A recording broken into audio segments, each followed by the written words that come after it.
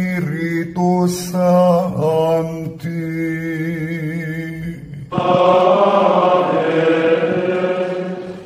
Dominus Obiscum.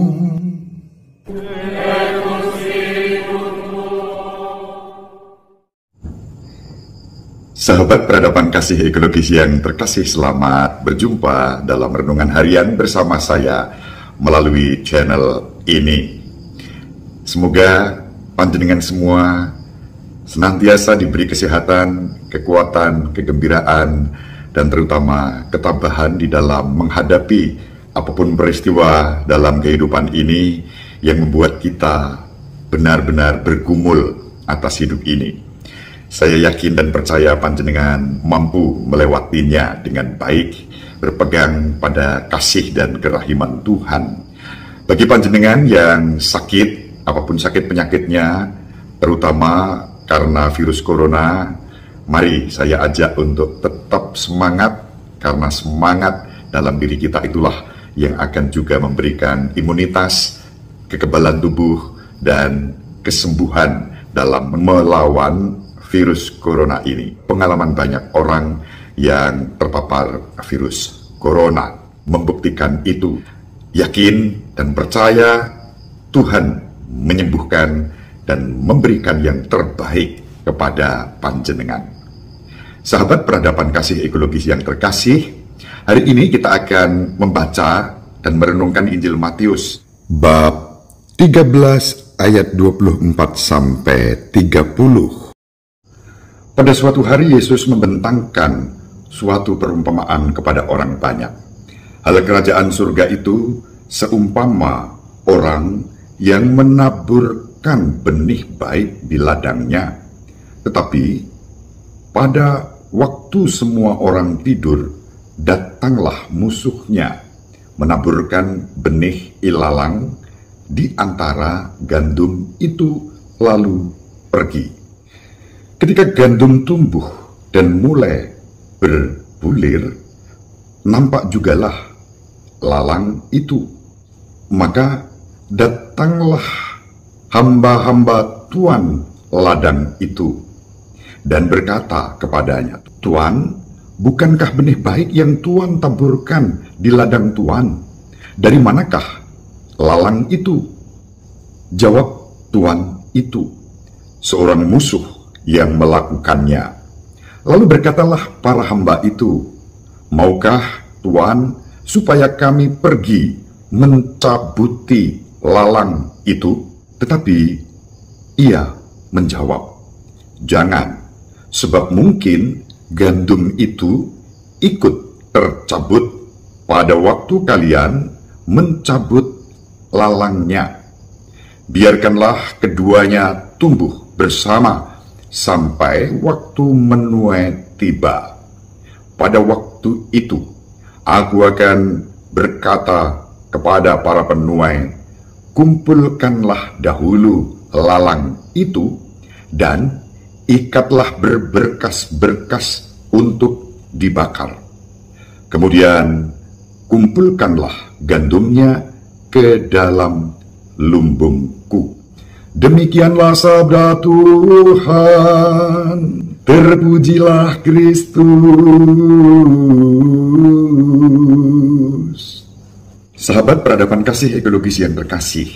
Hari ini Yesus menggambarkan kerajaan Allah itu seperti pemilik ladang yang menaburkan benih gandum di ladangnya, tetapi ternyata diam-diam tumbuhlah lalang. Kerajaan surga di bumi digambarkan oleh Yesus menggunakan banyak perumpamaan untuk membantu kita memahami nilai kerajaan surga. Yesus juga mengajarkan kepada kita untuk berdoa agar kerajaan itu datang. Yesus juga berkhotbah agar kita bertobat karena kerajaan surga sudah dekat. Mendengarkan Yesus berkhotbah tentang kerajaan Allah, kita mulai memahami bahwa kerajaan Allah itu suatu proses yang dinamis. Itu berdasarkan perumpamaan pada hari ini.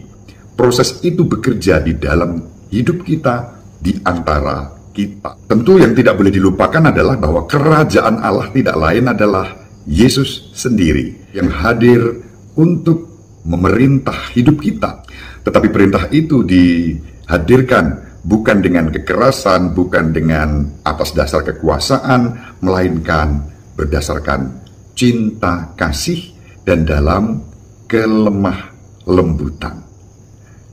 Ini yang ditawarkan Yesus kepada kita. Itulah sebabnya ketika disadari bahwa di dalam kerajaan yang digambarkan laksana benih gandum yang ditaburkan di ladang, tahu-tahu tumbuh ilalang, Yesus tidak mengedepankan kekerasan, bukan dengan mencabuti sesegera mungkin ilalang itu. Karena apa? Ilalang dan gandum pada awal pertumbuhannya serupa. Kebaikan dan kejahatan bisa jadi berjalan dalam keserupaan itu. Dan kita sebagai pribadi yang dikuasai oleh Yesus, kita tidak boleh gegabah. Cepat-cepat mencabuti ilalang yang tumbuh itu ekspresi sikap gegabah dan kekerasan. Kerajaan surga tidak pernah dihadirkan melalui kekerasan dan ketergesa-gesaan. Dibutuhkan di situ kelemah lembutan dan kesabaran. Nah, nilai kerajaan Allah yang seperti itulah yang ditawarkan oleh Yesus kepada kita pada hari ini. Maka tolok ukurnya jelas. Di mana ada kekerasan dan kegegabahan di situ, pastilah itu bukan representasi kerajaan Allah. Sebab kerajaan Allah dihadirkan dalam kelemah lembutan, kasih, dan kesabaran. Karena itu, semua yang memuat unsur dan ekspresi kekerasan dan ke kegegabahan, ketergesa-gesaan untuk bertindak karena suatu perbedaan pasti bukan representasi kerajaan Allah. Maka, seperti benih yang baik ditaburkan, demikian juga kejahatan bekerja sebagai musuh kita. Terkadang dengan cara-cara yang tak terlihat. Kita diajak untuk membangun kesabaran dalam menghadapi lawan yang seperti itu. Sekali lagi kuncinya bukan kekerasan, bukan kegegabahan, melainkan kesabaran dan kelemah lembutan. Allah sangat bersabar terhadap kita. Sahabat peradaban kasih ekologis yang terkasih, semoga dengan firman hari ini panjenengan juga dianugerahi kesabaran dan kelemah lembutan dalam menghadapi setiap peristiwa dan perkara hidup ini, bahkan hal-hal yang mungkin tidak seperti kita harapkan. Bukan kekerasan, melainkan kelemah lembutan dan kesabaran. Ibu Maria selalu mendoakan panjenengan, Bapak Yosef merestui panjenengan dengan keheningannya. Semoga panjenengan semua bersama seluruh anggota keluarga di mana pun berada, dibimbing, dilindungi, dan diberkati oleh Allah yang Maha Kuasa, Bapa dan Putera dan Roh Kudus. Amin. Terima kasih, salam sehat, tetap semangat, jangan lupa bahagia.